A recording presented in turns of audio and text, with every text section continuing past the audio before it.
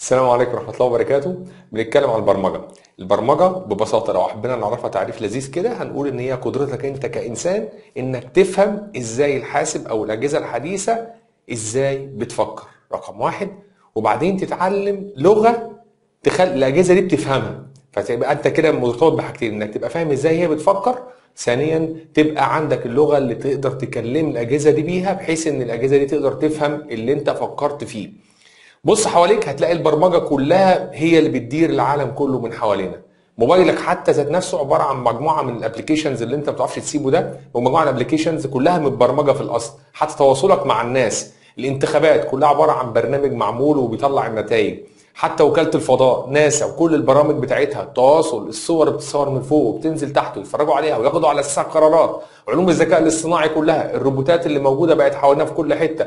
انت أصلا دلوقتي بتشوفني من خلال منصة أصلا متبرمجه فالبرمجة هي اللي بتصنع التكنولوجيا.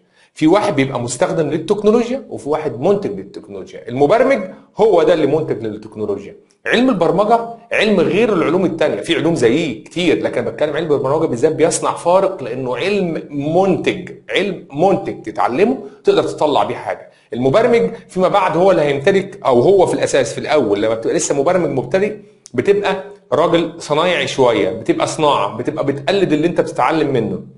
بعدين بتصبح بعد فترة معينة بعد ما تكتسب الأساسيات وتبقى مش م... يعني ثابت في معرفتك لل- للفكر إزاي الأجهزة بتفكر ومعرفتك للغة اللي أنت بتمارسها ساعتها اللغة اللي بتمارسها أقصد بيها اللي بيتكلم بيها الكمبيوتر عشان يقدر ينفذ الأوامر اللي عندك ساعتها بتتنقل من من الصنايعي ده إلى المفكر إنك تقدر توصل تفكيرك دوت لجهاز الكمبيوتر وتقدر تعمل حاجات آه، كويسة جدا وتقدر تنتج سواء كانت علوم عادية أو علوم ذكاء اصطناعي. يبقى الفكرة كلها في الأساس. عشان تقدر تتعلم برمجة في عندك ال part الأساسي إنك تفهم.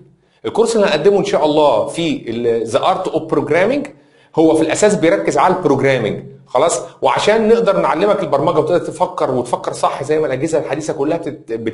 بتفكر هتتعلمها من خلال ممارستك للبرمجة. كنا ممكن نبرمج من خلال pseudo code وت... يعني يعني كود فيك كده تتعلم pseudo code كروكي تقدر تتعلم بيه البرمجة. لكن إحنا قلنا لا ممكن ناخد لغة من اللغات اللي هي المشهورة لغة زي لغة البايثون لغة أساسية قوي في الفترة الأخيرة ويمكن في فيديوهات لينا بنتكلم ليه تتعلم بايثون بعينها لكن أنا ما يهمنيش قوي لأن إحنا اتفقنا إن البرمجة إنك تفهم الأول إزاي الأجهزة دي بتت... بتفكر وثانيا تتعلم لغة من اللغات اللي تقدر تحول تفكيرك ده إنك تكلم بيها اللغات التانية.